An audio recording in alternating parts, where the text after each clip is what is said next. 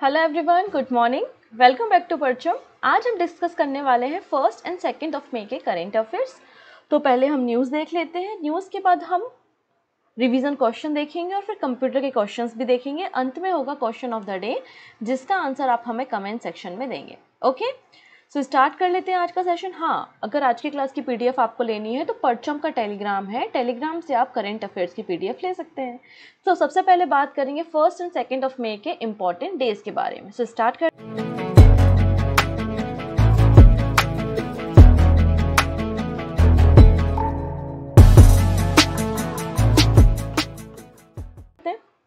First में first में एक मई का जो दिन होता है ना, इसको हम मजदूर दिवस भी कहते हैं। इसे हम कामगार दिवस के रूप में भी जानते हैं। इसे हम इंटरनेशनल लेबर डे भी कहते हैं और मे डे के रूप में भी इसे जाना जाता है। ठीक है तो कई सारे नाम आपको फ़र्स्ट मई के देखने को मिलेंगे। इंटरनेशनल लेबर डे मनाया जाता है। अब एक मई को ही क्यों मनाया जाता है? दो मई को मना लेते या किसी और दिन मना लेते तो फ़र्स्ट मई को 1886 में यूनाइटेड स्टेट ऑफ़ अमेरिका में जो भी आपके लेबर्स थे, उनकी यूनियन ने सबसे बड़ी यहाँ पे स्ट्राइक की थी और इन्होंने डिमांड की थी कि जो वर्कर्स हैं वो आठ घंटे से ज़्यादा काम नहीं करेंगे। ठीक है ना? तो ऑन फ़र्स्ट में 1886 labour union went on strike in the United State of America and demanded that workers should not be force to work more than eight hours in a day ठीक है? ये तो बात हो गई फ़र्स्ट मई के बारे में। अब भारत के रिस्पेक्ट में बात करते हैं तो भारत में पहली बार फ़र्स्ट में 1923 1923 में भारत में पहली बार इंटरनेशनल लेबर डे मद्रास में मनाया गया और जो लेबर किसान पार्टी ऑफ़ हिंदु हिंदुस्तान थी, उसके द्वारा इस दिन को मनाया गया था। नेक्स्ट बात करेंगे, आज ही के दिन मतलब फ़र्स्ट ऑफ़ मे को हमारे दो राज्य भी बने थे, गुजरात एंड महाराष्ट्र। आप लोगों ने बॉम्बे प्रेसिडेंसी का नाम तो सुना ही होगा, है ना? तो यहाँ पे देखिए बॉम्बे रीऑर्गेनाइजेशन एक्ट 1960 में पास हुआ था और इसके बाद यहाँ पे बाइफरकेट कर दिया गया था, जो बॉम्बे स्टेट था, उसको दो राज्यों में डिवाइड कर दिया गया था, गुजरात एंड महाराष्ट्र। ठीक है मेनली चार लैंग्वेज यहाँ पे बोली जाती थी, मराठी, इसके अलावा कच्छी गुजराती और कोंकणी। तो कोंकणी और मराठी जहाँ पे बोली जाती थी, उसे महाराष्ट्र बना दिया और जहाँ कच्छी और गुजराती बोला जाता था, उसे गुजरात बना दिया। तो इस तरीके से फ़र्स्ट मे को गुजरात और महाराष्ट्र का फाउंडेशन डे भी मनाया जाता है। ओके नेक्स्ट बात करेंगे सेकेंड में। तो दो मई को यूनाइटेड नेशन के द्वारा एक दिन की शुरुआत की गई थी, जिसको हम वर्ल्ड ट्यूना डे कहते हैं। ट्यूना क्या होती है? एक फ़िश होती है, जो कि सॉल्ट वाटर फ़िश है, और इसको बचाने के लिए बेसिकली यूनाइटेड नेशन के द्वारा वर्ल्ड ट्यूना डे की शुरुआत की गई। 2017 में पहली बार इस दिन को मनाया गया था। तो सेकेंड ऑफ़ मे को हम वर्ल्ड ट्यूना डे मनाते हैं। वर्ल्ड अस्थमा डे तो वर्ल्ड अस्थमा डे जो है, वो जो फ़र्स्ट आपका ट्यूसडे आता है मई में ना? जो पहला आपका मंगलवार आता है मई के महीने में, उस दिन वर्ल्ड अस्थमा डे मनाते हैं। तो आज देखिए, पहला मंगलवार है मई का। इसलिए सेकेंड मई को हम वर्ल्ड अस्थमा डे मना रहे हैं। वर्ल्ड अस्थमा डे इसलिए मनाया जाता है, लोगों को अस्थमा के बारे में एडुकेट किया जाए, उनको शिक्षा दी जाए। ठीक है? इस दिन की शुरुआत अगर हम देखेंगे तो ग्लोबल इनिशिएटिव फॉर अस्थमा के द्वारा की गई थी। 1993 में, उन्नीस में। अस्थमा केयर फॉर ऑल यहाँ पर थीम है। तो ये तो हो गए हमारे इंपॉर्टेंट डेज़ अब हम बात करते हैं कुछ इंपॉर्टेंट पर्सन अब ये जो इंपॉर्टेंट पर्सन है, वो वाकई में इंपॉर्टेंट है। तो पहले जो पर्सन है ना, वो आपको किसी सेट में, किसी पेपर में, किसी वनडे एग्ज़ाम में छपे हैं और छप चुके हैं, आप ही मान के चलिए। क्योंकि हम बात करने वाले हैं यहाँ पे बार्क के डायरेक्टर ए के मोहंती के बारे में। ठीक है? ये बार के डायरेक्टर थे ए के मोहंती इन्हें न्यू एटॉमिक एनर्जी कमीशन का chairman and secretary of department of atomic energy बना दिया गया है। सो गवर्नमेंट ऑफ़ इंडिया के द्वारा बार्क डायरेक्टर ए के मोहंती को एटॉमिक एनर्जी कमीशन का चेयरमैन और डिपार्टमेंट ऑफ़ एटॉमिक एनर्जी का सेक्रेटरी मतलब सचिव बना दिया है। तो क्वेश्चन कैसे बनेगा कि परमाणु ऊर्जा आयोग का नया अध्यक्ष कौन है? तो ए के मोहंती है। या परमाणु ऊर्जा विभाग के नए सचिव कौन है? तो वो भी ए के मोहंती है। ए के मोहंती किस ऑर्गेनाइजेशन के डायरेक्टर रहे हैं? तो आंसर हो जाएगा बार्क बार के डायरेक्टर रहे हैं। तो कैसा भी क्वेश्चन यहाँ से बन सकता है। इन्होंने के एन व्यास को रिप्लेस किया है। ठीक है? तो अजीत कुमार मोहंती इनका पूरा नाम है। इन्हें chairman of atomic energy commission and the secretary of department of atomic energy बनाया है। कब तक के लिए? तो 66 ईयर जब ये छियासठ साल के हो जाएँगे तो उनका टेन्योर भी खत्म हो जाएगा। तो 66 ईयर्स या फिर 2025 तक। है ना? 2025 तक या फिर छियासठ साल तक जब हो जाएँगे तब तक गवर्नमेंट के ऑर्डर तक। ठीक है? So so, Bhabha atomic research centre के ये डायरेक्टर रहे कब से थे? सिंस 2019 2019 से थे। अगर मैं Bhabha institute Bhabha atomic research centre के बारे में बात करूँ तो इसका फॉर्मेशन स्टोन किसने रखा था या फाउंडर कौन है? तो होमी जहांगीर भाभा है और ट्रॉम्बे ने ट्रॉम्बे में इसकी स्थापना की गई थी 1954 में उन्नीस सौ चौवन में। तो ए के मोहंती का नाम बड़ा इंपॉर्टेंट है। चलिए अगले पर्सन है देवदत्त चंद। ये है देवदत्त चंद्र और इन्हें बीओबी बैंक ऑफ़ बड़ौदा के चीफ के रूप में अपॉइंट किया है। तो Devdutt Chand appointed as the new chief of BOB bank of Baroda के नए चीफ मतलब एमडी एंड सीईओ कौन बन गए हैं? सॉरी यहाँ पे चीफ कौन बन गए हैं? आंसर हो जाएगा देवदत्त चंद बन गए हैं। और इनका टेन्योर जो है वो तीन साल का रहेगा। कितने साल के लिए? For the period of three years तीन सालों के लिए है। क्यों? क्योंकि जो संजीव चड्डा हैं अभी, संजीव चड्डा जो कि M D and C O हैं बीओबी के, ये 30 जून को रिटायर हो जाएँगे और जब इनका 30 जून को रिटायरमेंट हो जाएगा, तब देवदत्त चंद्र जो हैं वो नए M D and C O बन जाएँगे बीओबी के। इसके अलावा यहाँ पे देखिए एक और अपॉइंटमेंट की गई है कैबिनेट कमेटी के द्वारा, वो है रजनीश कर्नाटक। रजनीश कर्नाटक इन्हें M D and C O बनाया गया है बैंक ऑफ़ इंडिया का। बैंक ऑफ़ इंडिया के ये तीन साल के लिए रजनीश जी जो हैं वो M D and C O बन गए अगर हम बी ओ बी के बारे में बात करें तो 1908 में इसका फॉर्मेशन हुआ था और गुजरात के बड़ोदरा में इसका हेड ऑफ़िस मिलेगा। अब देखिएगा यहाँ पे जो प्राइम मिनिस्टर मोदी जी की 11 बजे सुबह मन की बात आती है है ना? सुनी होगी आई थिंक आप लोगों ने आ, रेडियो वगैरह पे। तो यहाँ पे जो मन की बात है ना उसके सौ एपिसोड कंप्लीट हो गए कितने एपिसोड हंड्रेड एपिसोड कंप्लीट हो गए हैं। तो यहाँ पर एक बुक लॉन्च की गई है। हंड्रेड एपिसोड जो है वो मन की बात के कंप्लीट हो गए हैं। सो यहाँ पर एक बुक लॉन्च की है, हम उसी बुक के ऊपर चर्चा कर रहे हैं। Collective spirit concentrate action. Book का नाम क्या है? Collective spirit concentrate action. इस बुक को रिसेंटली लॉन्च किया गया है और इस बुक के राइटर कौन है?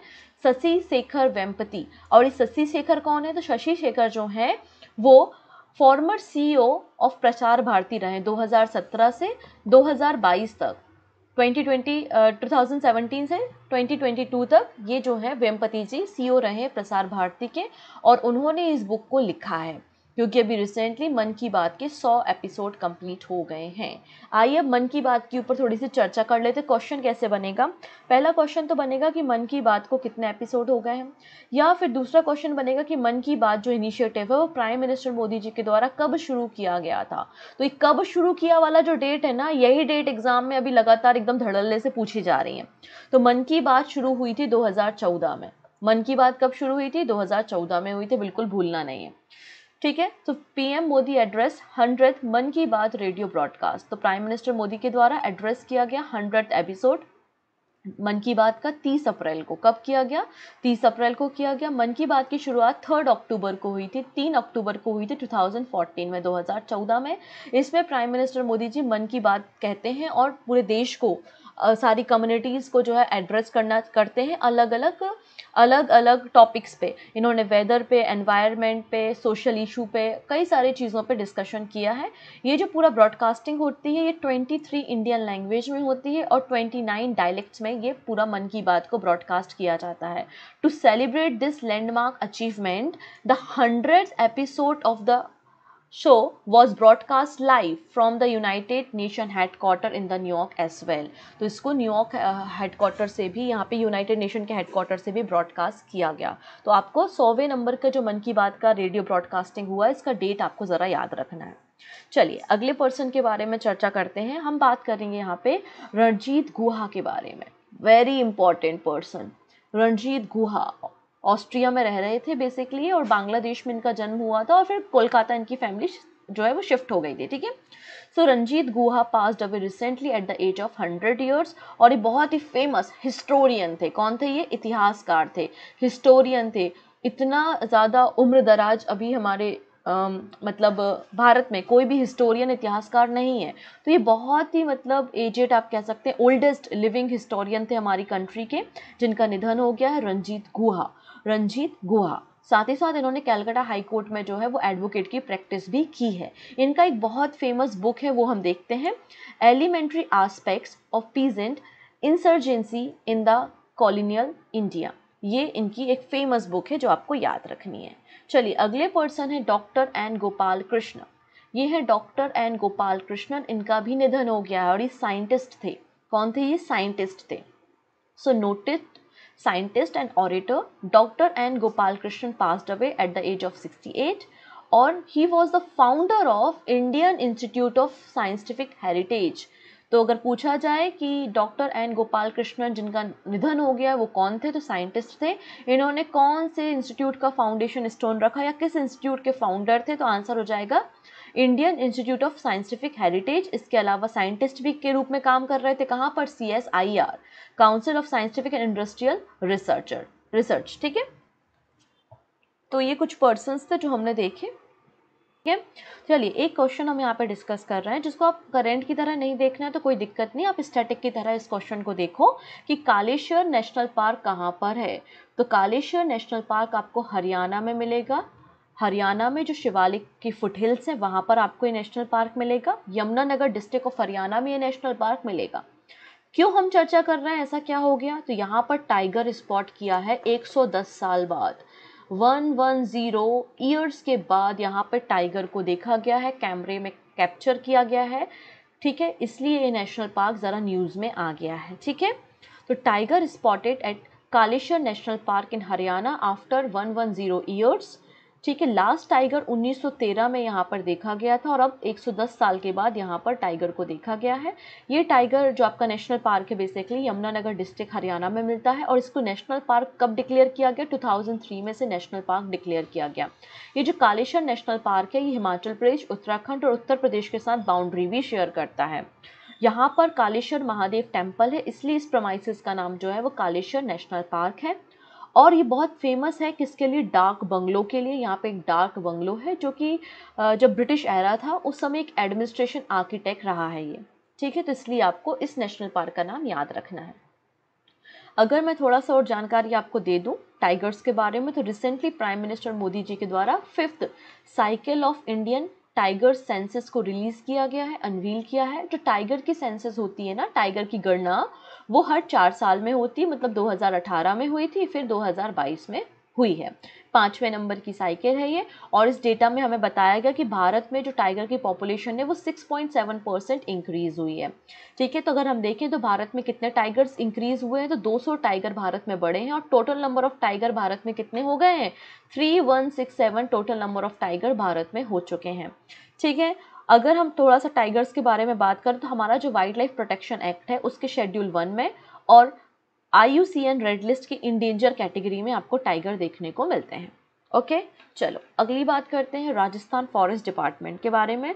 सो so, रिसेंटली राजस्थान के फॉरेस्ट डिपार्टमेंट ने तीन नई wild life conservation reserve create किए हैं जिससे राजस्थान में टोटल वाइल्ड लाइफ कंजर्वेशन की संख्या कितनी हो गई है? ट्वेंटी सिक्स हो गई है।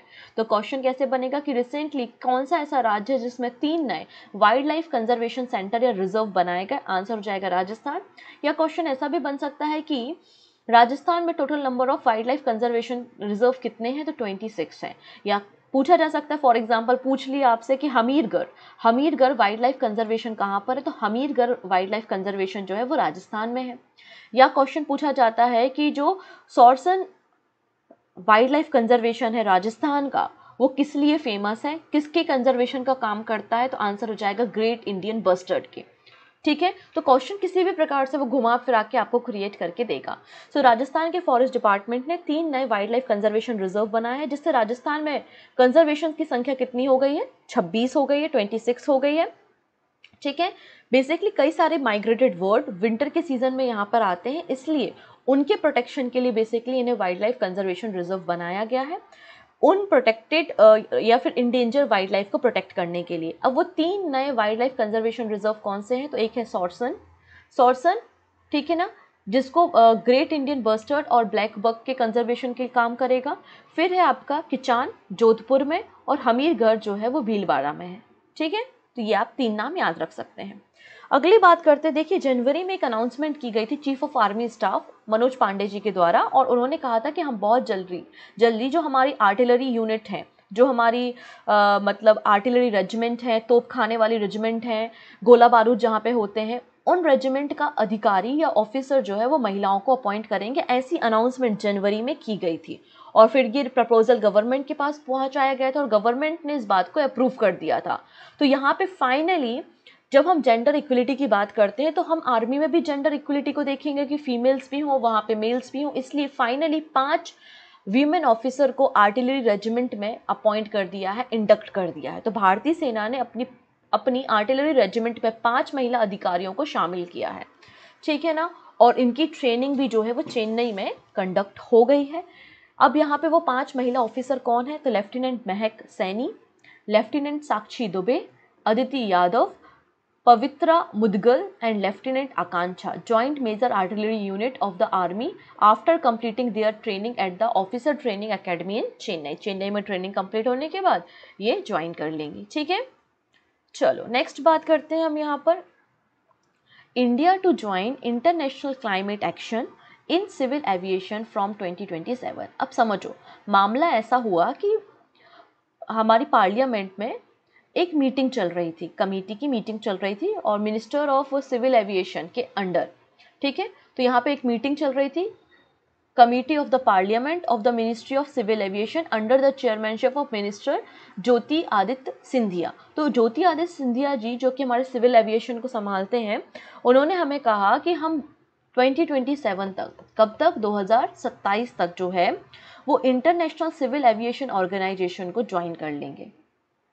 ठीक है? India will join the international civil aviation organisation carbon offsetting and reduce scheme for international aviation ठीक है? कोर्शिया कह सकते हैं आप। Carbon offsetting and reduction scheme for international aviation and long term aspirational goal इनको हम ज्वाइन कर लेंगे 2027 तक, ऐसा। ज्योति आदित्य सिंधिया का कहना है। इसके अलावा जो आई है ना इंटरनेशनल सिविल एविएशन ऑर्गेनाइजेशन इसके कई सारे गोल्स हैं, कई सारे टारगेट हैं। ये लोग जो है, वो एविएशन सेक्टर में कार्बन न्यूट्रल करना चाहते हैं नेट ज़ीरो कार्बन एमिशन 2050 तक करना चाहते हैं तो इन सारे टारगेट को भी इंडिया ज्वाइन करेगा ऑब्वियस ही बात है। इंटरनेशनल सिविल एविएशन ऑर्गेनाइजेशन क्या करता है? हमारा जो नेविगेशन इंडस्ट्री है ना उसमें प्लानिंग डेवलपमेंट का काम करने का काम करता है ये। एक स्पेशलाइज एजेंसी है यूनाइटेड नेशन की और उसका प्राइमरी फ़ंक्शन क्या होता है? Coordinate principle and technique of international air aviation Montreal Canada में इसका हेड ऑफ़िस और 1944 में इसका फॉर्मेशन हुआ था। लास्ट न्यूज़ है बिहान मेला। क्वेश्चन मिलेगा कि बिहान मेला कहाँ पर आयोजित किया जाता है? तो बिहान मेला उड़ीसा में होता है। अगला क्वेश्चन बन सकता है कि कोंद ट्राइब कोंद ट्राइब कहाँ पर पाई जाती है तो ये ट्राइब भी आपको उड़ीसा में देखने को मिलेगी। ठीक है ना? या फिर कोंद ट्राइब के द्वारा उड़ीसा में किस मेले का आयोजन होता है तो बिहान मेला। कैसा भी क्वेश्चन घुमा फिरा के वो पूछेगा। तो मेंबर जो होते हैं कोंद ट्राइब के, उड़ीसा में नयगढ़ डिस्ट्रिक्ट के, उनके द्वारा बिहान मेला लगाया जाता है। ठीक है? बिहान मेला जो है वो उसमें पार्टिसिपेट कौन करते हैं? फार्मर्स करते हैं, किसान करते ठीक है ना? जब खरीफ की क्रॉप्स जो होती है, वो हार्वेस्ट हो जाती है, उसके बाद यहाँ पे preparation begin as soon as a farmer have harvested kharif crop kharif crop के हार्वेस्ट होने के बाद यहाँ पे प्रिपरेशन शुरू होती है और बिहान मेले का आयोजन किया जाता है। और ये कौन ट्राइब जो है, वो एक ट्राइबल ग्रुप है, जो कि हिली एरियाज़ एंड जंगल में ईस्टर्न इंडिया में बेसिकली आपको देखने को मिलेगा। अब ये जो कौन ट्राइब है ना, इसकी कई सारी सब ट्राइब्स भी आपको देखने को मिलती हैं, जैसे कि डोंगरिया, कोबी, है ना? लंगुली, पेंगा झारनिया राजकोंडा, ये सभी जो है वो सब ट्राइब है कौन ट्राइब के। अब जो कौन ट्राइबल ग्रुप है, ये कौन सी भाषा बोलते हैं? तो इनकी अगर लैंग्वेज देखेंगे तो कुई और कुबी।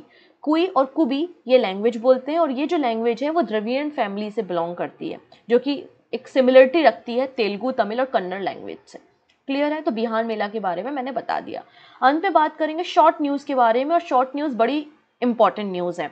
देखो सबसे पहली बात करते हैं, Namo medical education and research institute. तो recently prime minister Modi ji हमारी जो यूटी है ना, दादर नगर, हवेली एंड दमन एंड दीप वहाँ पे विज़िट पे गए हुए थे। और वहाँ पर जाने के बाद उन्होंने Namo medical education research institute का इनोग्रेशन किया सिलवासा, दादर नगर, हवेली एंड दमन एंड दीव में। और इसका फाउंडेशन स्टोन भी 2019 में प्राइम मिनिस्टर मोदी के द्वारा ही रखा गया था। नेक्स्ट बात करते हैं एससीओ के बारे में। एससीओ की प्रेसिडेंसी भारत के पास है और इसका ट्वेंटी एडिशन भारत होस्ट करने जा रहा है जुलाई में नई दिल्ली में। कौन सा एडिशन है? ट्वेंटी एडिशन है। एडिशन याद रखना इंपॉर्टेंट है। First edition of food conclave 2023 जो है वो हैदराबाद में हुआ 28 और 29 अप्रैल को। नेक्स्ट बात करेंगे सात्विक साईराज एंड द चिराग शेट्टी।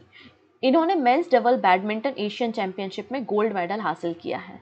ठीक है तो सात्विक साईराज और चिराग शेट्टी क्या खेलते हैं? तो ये लोग बैडमिंटन प्लेयर हैं और इन्होंने एशियन चैंपियनशिप में गोल्ड मेडल हासिल किया है। नेक्स्ट बात करते हैं यहाँ पर real estate award national real estate award जो है वो राजस्थान को मिला है।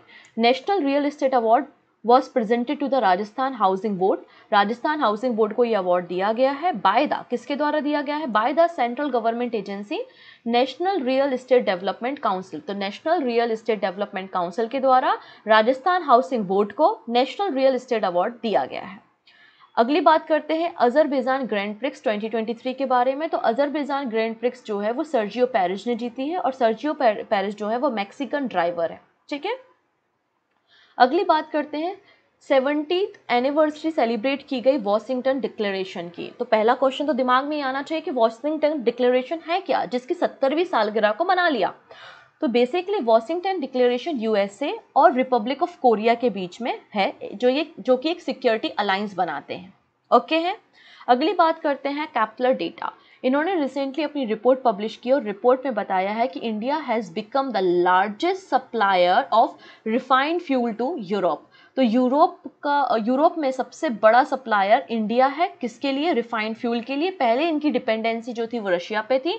और रशिया और यूक्रेन का जब से वॉर चल रहा है तो कई सारे सेंक्शंस लगाएगा और उसके बाद India become the largest supplier of refined fuel to Europe okay अंत में ये हेडलाइंस हैं, आप देख सकते हैं तो आप इनका स्क्रीनशॉट भी ले सकते हैं पीडीएफ से भी पढ़ सकते हैं वीडियो को रोक के भी नोट्स बना सकते हैं, जैसा आप करना चाहें आप कर सकते हैं।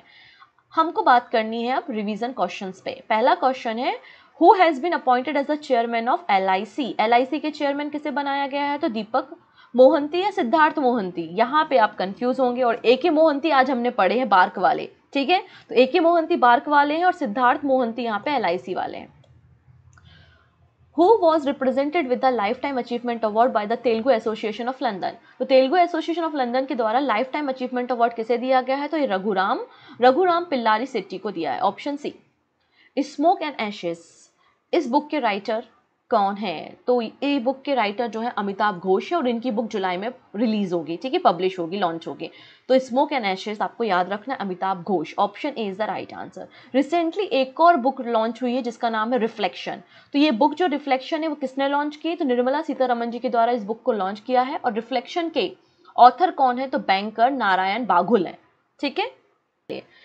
हम बात कर रहे हैं इसके बारे में मैंने आपको करंट अफेयर्स में बताया था। Blank is a type of malware that threaten to publish a victim personal data और block access to it unless some money is paid तो यहाँ पे बोला जा रहा है कि आ, वो क्या चीज़ है वो कौन सा मेलवेयर टाइप है जो कि विक्टिम को आ, क्या करता है विक्टिम को धमकी देता है कह सकते हो कि आप मनी पेड करो उसके बाद ही आप अपना एक्सेस कर सकते हो डेटा उनके डेटा को हैक कर लेता है। तो आंसर हो जाएगा यहाँ पर ransomware option C is the right answer H T T P का फुल फॉर्म सभी को पता है हाइपर टेक्स्ट ट्रांसफ़र प्रोटोकॉल अब इसमें जो एस है, इसका क्या मतलब है? तो एस का मतलब क्या होता है? Secure option B which of the following term is related to the pre release version of software program तो देखिए, कई बार जो सॉफ्टवेयर होते हैं, वो टेस्टिंग के लिए आते हैं, है ना? टेस्टिंग के लिए उनको लॉन्च होते हैं। तो वो ये बोला जा रहा है कि pre release version software program का क्या कहलाता है? तो उसको हम बेटा वर्जन कहते हैं ना? बीटा वर्जन कहते हैं। Option C is the right answer beta software refer to the computer software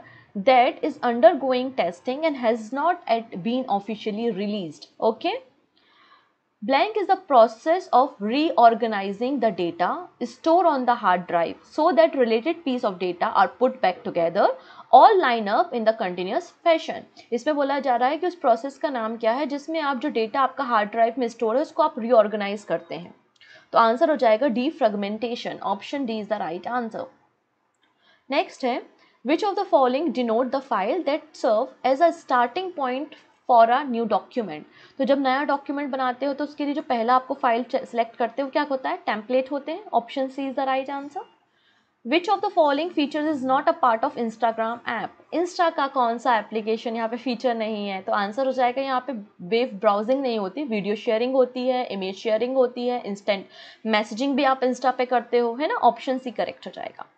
Active matrix is a technology use in which of the following hardware इनमें से कौन सा ऐसा हार्डवेयर है जिसमें एक्टिव मैट्रिक्स टेक्नोलॉजी यूज़ होती है? तो हमारी जो एल वगैरह होती है ना उनमें मॉनिटर्स में हम इसका यूज़ करते हैं। ऑप्शन डी बिल्कुल करेक्ट हो जाएगा। This is the question of the day which of the following is a meta language इनमें से कौन सी मेटा लैंग्वेज है? चार लैंग्वेजेस आपको कंप्यूटर की दिख रही हैं। आपको बस सही आंसर हमें कमेंट में करना है। ओके okay, रिप्लाई भी मैं आपको वहीं दे दूँगी। सेशन पसंद आया है तो अपने फ्रेंड्स के साथ शेयर करना नहीं भूलेंगे। सो so, मिलते हैं डेली सेवन ए एम पे हम करेंट अफेयर्स में तब तक अपना ध्यान रखेंगे। Take care